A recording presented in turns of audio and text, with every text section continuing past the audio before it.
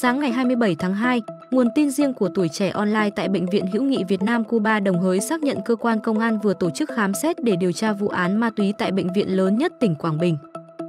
Hàng chục chiến sĩ công an được huy động để khám xét tại đây. Việc khám xét bắt đầu từ chập tối đến tận khuya. Hiện cơ quan công an vẫn đang tiếp tục điều tra vụ việc.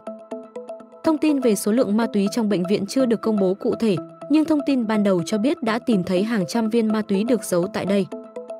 Đồng thời có nhiều dấu hiệu cho thấy số ma túy có liên quan một doanh nghiệp bên ngoài đang hợp tác xử lý một số công việc mang tính dịch vụ trong bệnh viện.